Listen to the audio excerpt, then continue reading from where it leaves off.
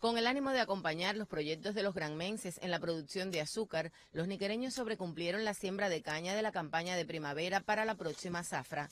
La unidad empresarial de base Roberto Ramírez logró más de 100 hectáreas por encima de lo previsto. Nuestro bebé tiene un plan de 501 hectáreas. En estos momentos hemos sembrado 640. Es un logro que tenemos, es un aporte más para buscar caña, de lo que nos hace falta hoy para lograr estabilidad y volúmenes suficientes de caña para la molida de los centrales. Con sistemas de siembra manual, en ese municipio costero, las bases productivas asumieron con responsabilidad sus planes.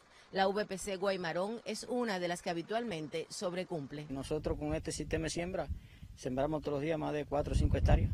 Por eso hemos cumplido el plan de siembra primavera eh, con antelación y vamos a aportar más porque vamos a cerrar con 86.92 hectáreas. La provincia de Granma deberá sembrar este año más de 7.000 hectáreas, de las cuales ha logrado casi la mitad.